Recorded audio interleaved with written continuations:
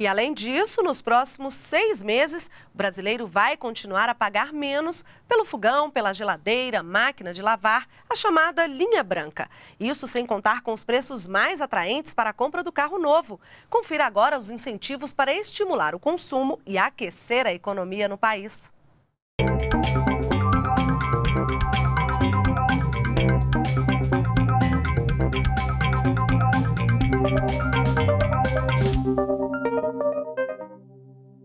Em relação aos carros populares, de janeiro a março de 2013, a alíquota vai ser de 2,5%.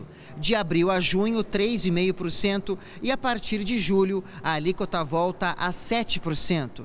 O ministro da Fazenda defendeu que a medida já garantiu um aumento das vendas de 30% a 40% os empresários, os produtores ganham e o consumidor também, porque o consumidor e o produtor terá juros menores e tributos menores, e com isso aumentando a competitividade da economia brasileira. A redução do IPI de automóveis começou em maio. Foi uma forma encontrada pelo governo para fortalecer a economia para tornar a indústria automotiva mais competitiva e estimular a fabricação de carros mais seguros e econômicos, o governo lançou, em outubro, o Programa de Incentivo à Inovação Tecnológica e Adensamento da Cadeia Produtiva de Veículos Automotores, o Inovar Auto. O nosso país tem um desafio e chama-se o desafio da produção. E produzir vai significar para o nosso país ter uma imensa capacidade de inovar. Uma das principais condições para que os fabricantes tenham acesso ao inovar alto é melhorar cada vez mais a eficiência energética para carros a gasolina e a etanol. Com isso, eles poderão ter acesso a uma redução de até dois pontos percentuais na alíquota do IPI. O objetivo é que cada carro faça cerca de 17,2 quilômetros por litro de gasolina até 2016. Com a medida, o consumidor poderá ter uma economia de R$ 1.150 por ano.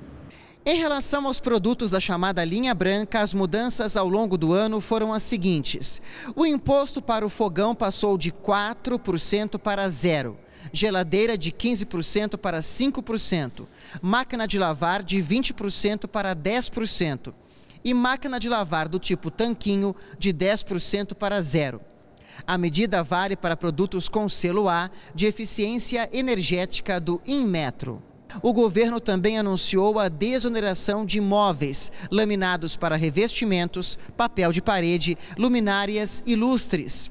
Em junho, foi decidida uma nova data de vencimento, 30 de setembro, mas o prazo foi alterado até 31 de janeiro de 2013.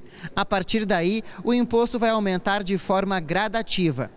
Entre fevereiro e junho do ano que vem, o IPI para os fogões vai ser de 2%, para as geladeiras 7,5% e máquinas de lavar roupa 10%. Em julho, as alíquotas voltam aos patamares de antes da redução é preciso continuar dando estímulos para o investimento, para o consumo.